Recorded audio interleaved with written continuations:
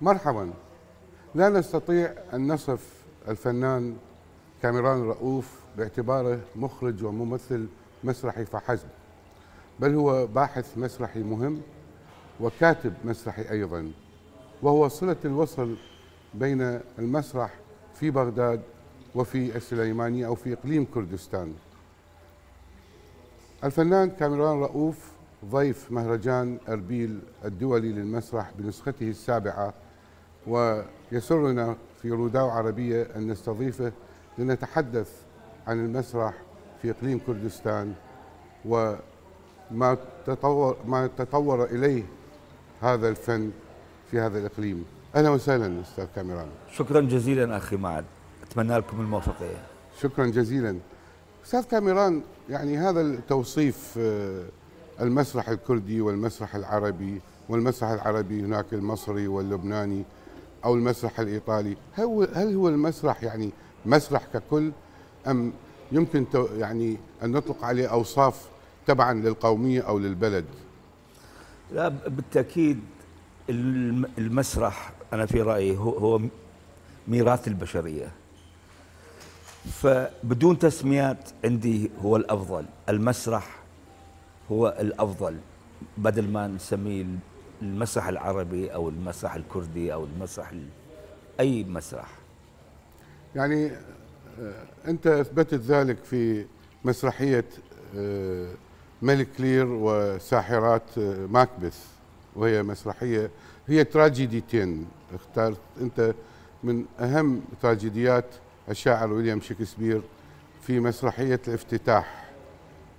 وبلغة كردية وحضرتك كنت بطل المسرحية وممثلين كرد هذا يعني أنه المسرح إنساني يعني ممكن مسرحية مسرحيتين إنجليزية بحتة أن تعالج الوضع آه، الراهن في العراق هل هذا كان هدفك؟ آه، بالتأكيد آه، المسرح الأصيل أو أو الكاتب الأصيل يبقى نصوصه لسنوات ولأجيال ولقرون. هذه هذا هو عظمة المسرح. بالنسبة للملك لير وماكبث نعم آه، مسرحيتين مختلفتين للكاتب شكسبير. ولكن وجدت صلة كبيرة بين هاي المسرحيتين وبين التأويل أو أو الكود اللي أنا أريد أبعثه من خلال هاي المسرحية. الخطاب المسرحي عند شكسبير آه، الملك لير مخير في توزيع المملكة ولكن عندي هو مسير. يسير من قبل الساحرات. ساحرات مكبث نعم ساحرات مكبث والبنات آه، من أجل السلطة ومن أجل المال آه، يخططون لقتل الأب. مثل ما خطط ليدي مكبث ومكبث لقتل الملك دنكان وهذا هذا الخطاب يعني عندي وأعتقد هو ساري الآن في العراق. فهذا الخطاب موجه والتفسير المسرحي موجه للوضع الحالي الراهن في العراق. العرض كان بلا شك كلاسيك أكاديمي بحت. لكنك استخدمت أسلوب معاصر في الديكور في حركة الديكور حتى في أداء الممثلين. نعم آه، صحيح. آه، أنا عندي المسرح تتكون من مجموعة وحدات. هاي الوحدات بتكاملها يعطيك عرض مسرحي ناجح. مثلا عندي الديكور هي وحدة. أنت من تجي للمسرح قبل ما نشوف العرض لازم تفتهم آه، الخطاب الموجه من قبل الديكور. مثلا عندي آه، أعمدة وعندي آه، مجموعة حياطين آه، شبكات مال العنكبوت مال العنكبوت وهذا يفسر بأن هذه السلطة سلطة محكمة بأعمدة قوية. ولكن جدرانها هش. وهذه الجدران مصممة لالتهام الفريسة الضعيفة. لأن العنكبوت من تبني عشها وتمد هاي الخطوط تنتظر الفريسة حتى تكون وجبة غداء للعنكبوت. وحتى التفسير يعني افتتاحية المسرح كانت آه، آه، حفلة العشاء الرباني اللي دافنشي اللي آه، مفهومها هو خيانة المسيح. يهوذا الإسخريوطي من يخون المسيح ومقابل ثلاثين قطعة ذهب. فالبنت الكبرى جونريل كانت جالسة في مكان يهوذا اللي اللي تخون والدها. الملك لير. تكون والدها. نعم.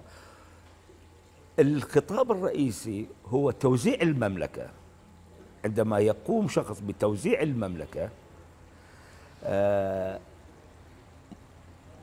تؤدي إلى الدمار. مثل ما شاهدنا بالمسرح بالمشهد الأخير دمار المملكة وسقوط الأعمدة وجدران. هل المسرح يعني على ضوء ما طرحت الآن أستاذ كاميران هل المسرح آه، رسالة فقط أم متعة؟ بالتأكيد ما ما تأتي الرسالة إلا من خلال المتعة الجمالية والمتعة الفكرية. وإلا آه، أنت تقرأ كتاب هم تستمتع وهم آه، هو مردود ثقافي لك. المسرح بدون جمال لا يمكن أن يعطي المتعة الذهنية والفكرية والجمالية للإنسان حضرتك عشت لسنوات في هولندا آه، ونعرف أن هناك يعني المسرح وأساليبه آه، تختلف عن ما هو سائد في العراق. هناك المسرح يعتمد على الموسيقى musical المسرح هناك إيقاع سريع. حتى المسرحيات الكلاسيكية حتى شكسبير هاملت وعطيل آه سواء في المسرح أو في السينما عالجوها بأسلوب معاصر هل فكرت أن تقدم مسرحيتك آه، الملك لير أو ساحرات ماكبث وفق أسلوب معاصر؟ يعني هو أخ معد آه، للوهلة الأولى يعني الضربة الأولى من تعطي عندما تفكر بمسرحية هي هاي راح تكون الأساس فالومضة الأولى للملك لير كانت بهذا الشكل؟ وكنت أتمنى يعني يعني أنا أشتغل يعني بشكل آخر أو أو براز آخر ولكن هذه كانت الومضة الأولى. فأخذتها وبنيت عليها. حضرتك درست بأكاديمية الفنون الجميلة بجامعة بغداد. أه ما أعرف ليش أحالني العرض. أنا أتذكر جاسم العبودي وأتذكر حتى بدري حسون فريد أساتذتنا آه، واهتمامهم وجعفر السعدي بالمسرح الكلاسيكي هل هناك تأثيرات لهذه الدراسة؟ بالتأكيد يعني أساتذتنا في بغداد سواء في معهد فنون الجميلة أو في أكاديمية الفنون الجميلة كانوا أساتذة كبار آه، علمونا الكثير وربونا على على الأخلاق الصادقة للمسرح لرجل المسرح. في المواعيد في الدقة في الالتزام في في في العمل. و يعني أنا لما نشتغل آه، عمل مسرحي أنسى كل شيء. فقط يبقى المسرح هو يعني شغلي الشاغل. بعدما أنتهي أشوف مشاكل حياتية عديدة وأقوم بحلها. فال يعني نرجع لموضوعنا فأساتذتنا نعم علمونا الكثير وكانوا لهم تأثير كبير على يعني مستقبلي الفني. أمثال أستاذ المرحوم الكبير قاسم محمد والأستاذ حميد محمد جواد وإبراهيم جلال والدكتور مرسل الزيدي الله يرحمه. فهذول يعني كانوا بحق أساتذة كبار بحق. عرفناك منذ سنوات كممثل ممثل مبدع بالتأكيد. في هذه المسرحية لعبت المخرج والممثل بطل المسرحية. وين وجدت نفسك يعني؟ بصراحة آه، هو آه، آه، عمل متعب جدا. يعني أن, أن تعمل في مسرحية والشكسبير آه، مخرج وممثل. يعني كمخرج أنت مسيطر على العرض وأسلوب وتفسير العرض. كممثل أن تكون أنت في الحدث. هل يعني هذا يقودنا السؤال إنه ما اقتنعت بممثل آخر يلعب شخصية الملك لير؟ لو أنت كان يعني رغبتك أن تلعب شخصية ملك لير. لا بالتأكيد أنا كانت عندي الرغبة الك- الكبيرة في الملك لير. أنا مثله وأكو ممثلين جيدين ولكن آه أن يعمل بكل جدية. هذه كنت مشكوك بوجود شخص أن آه يترك كل شيء و يتفرغ للملك لير. فعملت في البداية مع مع الكاست. كل المعلومات والتمارين ال- اللي يؤدي إلى ال- النجاح و يعني بقى بحدود شهر ونص للعرض فتفرغت لنفسي كممثل. ولكن مع مراقبة أقل شدة وأقل دقة للآخرين. قلت بكل جدية هل الممثل الآن آه، يعني يتمتع بهذه الجدية بهذا الإخلاص بهذا الولاء للمسرح؟ حضرتك آه، نقدر نقول من الجيل الثالث المؤسسين للمسرح في إقليم كردستان وفي مدينة السليمانيه بالذات. هناك فنانين مبدعين حضرتك دكتور فاضل جاف وغيركم اللي جو من بغداد درسوا في بغداد وعملوا في المسرح في إقليم كردستان. هل تجد هناك تواصل بين المسرح في إقليم كردستان والمسرح في بغداد؟ قليل جدا. بس في الوقت الحالي من اجى أستاذ أحمد الدكتور أحمد موسى على رئاسة المؤسسة العامة للسينما والمسرح أصبحت هناك حركة بين الإقليم وبين بغداد. يعني وهذا مشكور ال- يعني عليه الكاس الإداري الآن في دار السينما والمسرح ونتمنى الأفضل يعني. أكو نية في دعوة الملك لير إلى بغداد لعرضها. بالكردي باللغة نعم الكردية. نعم. بلي. وبلا ترجمة. بلا ترجمة من نص معروف. نص معروف إحنا فهمناه يعني. نعم نصين معروفه ماكبث آه، نعم. والملك لير نعم. كيف في ضوء هذا كيف تقيم الحركة المسرحية في إقليم كردستان؟ أكو صعوبات كثيرة. اهمها الميزانية. ميزانية. ميزانية. والرؤية السليمة للمسرح. هناك بعض الرؤى آه، متخبطة آه، تعبانة يعني ما توصل لل للجمهور. هو هو أساسا يعني آه، ماكو هناك تربية للجمهور. في كل بلدان العالم الدولة تقوم بت- بتربية المتفرج. كيف؟ يعني من من تبدي من المدارس. مثلا أنا ابني في في هولندا في الابتدائية والمتوسطة والإعدادية يأخذوهم بالسنة الدراسية ثلاث مرات للمسرح. مسرح آه، بني على مزاجهم على مزاج الطفل. يعني مسرح أطفال. بالمتوسطة مسرح شبابي وهكذا. فهذا من يكبر آه، يزرع في ذهنه بذرة يسمها المسرح. مشاهدة. هاي المتعة الجمالية اللي ياخذها من هو صغير تبقى عنده وتكبر فمن تمر آه، من من يعني من يمر شهر أو شهرين ما يروح المسرح يحس بحاجة أن يرتدي إلى قاعة المسرح. هناك المسرح آه، صراحة من يروح المتفرج آه، يبقى يعني بعد انتهاء العمل المسرحي ما يروح البيت. يعني يقضي السهره بالقاعة يعني بال بالكافتيريا مال القاعة. فبعد آه، انتهاء المسرحية الم- المتفرجين يروحون للكافتيريا والممثلين ينزعون الملابس وال- والمكياج اللي على وجههم ويجون بين الجمهور. فيصير بيناتهم تعارف ويقضون آه، الليل لل 12 بالليل الواحدة بالليل وبعدين يروحون.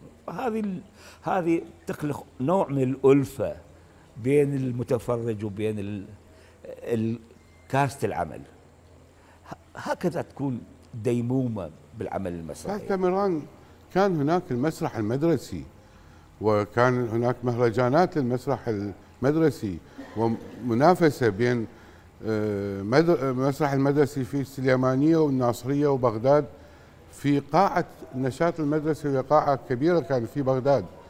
والآن موجودة مديريات النشاط الفني في وزارة التربية لكن غاب المسرح المدرسي. صحيح صحيح. يعني يعني هذا النوع هذا هذا يأكد ما ما قلته قبل شوية يعني هذا كيفية تربية المتفرج يعني من هو صغير للمسرح. مع الأسف هسه أعتقد حتى في بغداد ماكو هسه. ماكو. ف ألغي أعتقد درس الفنية يعني اللي يخرج اللي هي أن يكونون فنان رسامين وموسيقيين ومسرحيين هذا الدرس ألغي. نعم يعني يعني أنا أستغرب صراحة يعني يعني سمعت أكو معهد فنون جميلة للبنين ومعهد فنون جميلة للبنات. كيف يعني؟ ش- ش- شنو يعني شنو الداعي؟ يعني يعني اي اي أي عقلية يعني آه، قرر هذا القرار. أكثر من هذا هدموا هدموا المنحوتات اللي أبدعها بدعوها الطلبة على مدى سنين. وهناك منحوتات في أكاديمية الجميلة مستورديها من روما. صحيح. هدمت. صحيح. يعني هاي هاي ال- العقلية ما ممكن تقود بلد بشكلها الحضاري ما ممكن. هل هل تكرس يعني المسرح في السليمانية مثلا آه، كتقليد جمهور لو هناك عروض متقطعة مهرجانات أو عروض هنا وهنا. يعني السليمانية وأربيل أو دهوك إقليم كردستان. نعم يعني محافظة السليمانية أكثر حيوية من باقي المحافظات. آم، يعني أكو أعمال يعني مثل قبل يعني آه، يشتغلون بلا ميزانية. فأصبحت الآن ميزانية صعبة جدا. وحتى أعتقد أكو آه، كتاب رسمي من وزارة المالية بعدم مفاتحة الوزارة آه، للأعمال الفنية. بص- بصرف ميزانيات العمل. فهذه المسألة صراحة ترهق الفنان و- ويؤدي بال- بالنهاية إلى فناء هذا ال- يعني الح- الحالة الحضارية اللي يسمها المسرح أو الفن بشكل عام كيف رأيت هذا المهرجان دورته السابعة؟ مهرجان عمل على عجالة يعني على أي حال أفضل يعني من من لا شيء. من لا شيء. أتمنى من الوزارة آه، أن تخطط لهذه المهرجانات مسبقا حتى يكون للإداريين يعني إداري المهرجان عندهم الوقت الكافي لتنظيم هذا المهرجان ونجاحه. على كل آه، بالرغم منها هي فرصة جيدة للتعارف ولتبادل الآراء ومشاهدة أعمال الآخرين هل تعتقد مثلا معهد فنون جميلة أو كلية فنون جميلة في سليمانية في أربيل أو في دهوك قادرة أن تخرج فنانين بصورة عامة؟ هو أنا ما أعتقد آه، في كل دول العالم تخرج فنانين بقدر ما آه، تخرج مجموعة من الطلاب مؤهلين أن يشتغلون بالعمل الفني ولكن كمبدع وكاستمرارية ما أعتقد. وإنما المدرس بالصف يعطي معلومات ويوجه الطالب. في- فيبقى يعني القسط الأكبر عند الطالب هو كيف يبني نفسه؟ هل هو يريد أن يتخرج من معهد الفنون الجميلة أو أو الأكاديمية أن يروح كمدرس؟ أو أو أو معلم أو يبقى بالوسط الفني ويستمر بالأعمال الفنية. فهذه تبقى عنده. المهم إحنا جيلنا واللي سبقونا أساتذة كبار كانوا كلهم خريجي موسكو خريجي إيطاليا بريطانيا أمريكا. فهذول آه، علمونا الشكل الصحيح يعني آه، ب- بالمسألة. ولهذا يشوف يعني هذا الجيل أكثرهم كانوا جادين ومصممين أن يبقون آه، بالوسط الفني بدل ما يروحون كمدرسين القليل راحوا ولكن آه، الأكثرية بقوا لحد الآن يعملون. باعتقادك أستاذ كاميران آه، ليش السينما منحسره؟ السينما في إقليم كردستان أو خلينا نسميها السينما الكردية مثلا في إقليم كردستان السينما صنعة وفن الصناعة تسبق الفن. إذا ما عندك كاميرات جيدة وما عندك الإمكانيات الجيدة وما عندك الميزانية الجيدة وما عندك العقل المفكر من يقف خلف الكاميرا كيف يوجه الكرو فهذه ما موجودة. أكو أعمال آم، ضعيفة جدا وأعمال تفكر بشباك التذاكر شخصية. شخص يقوم بإخراج سينمائي فيأخذ من بعض الأفلام المصرية يأخذ من بعض الأفلام الهندية فيركب له سيناريو ويعرضه فيجوا جمهور. وحتى أعتقد تجربة من التجارب صرف بشخص صرف مبلغ كبير ولكن ما نجحت التجربة. مع إنه يعني إيران قريبة ومحاذية السليمانيه وللاقليم محادده وصنعوا أفلام حتى بميزانيات ضعيفة جدا وبلا محترفين مثل فيلم الصبورة لسميرة مقبل باف بهمن قوبادي الكردي الإيراني. صنع أفلام ما يزال رائعة بميزانيات يعني محدودة جدا. هاي الميزانية المحدودة نادرة عندنا وقليلة. مثلا إحنا عملنا فيلم كلاسيكو لمخرج كردي من السويد. آه، فقط آه، تصحيح الصوت في إيران 125 ألف دولار. بس تصحيح الصوت. فإيران أرخص بلد أعتقد آه، صناعة السينما. لصناعة السينما. 125 ألف مو قليلة فقط لهاي العملية. فكان مخصص له الفيلم بحدود 6 مليون دولار. آه هذا العمل كلاسيكو. وأي عمل بسيط مثل ما ذكرت مو أقل من 10 مليون دولار. هنا أنا من سؤال أخير. هل آه، تتوقع آه، إنتاج مسرحية عراقية باللغة الكردية والعربية؟ أتمنى. هذا. أنا أعود لبغداد ونتعاون مع إخواني في- في بغداد الفنانين الكبار. هذا حلم كبير. وأتمنى أن وزارة الثقافة العراقية أن تفكر في هذا الشيء. شرف كبير. الفنان المبدع كاميران رؤوف شكرا لك وشكرا آه، لتلبية دعوة شبكة روداو ومن خلال روداو عربية نتمنى لك التوفيق ونتمنى أن نلقاك مجددا مع إنجازات أكثر ابداعا. أعزائي المشاهدين شكرا لمتابعتكم ولنا لقاءات أخرى.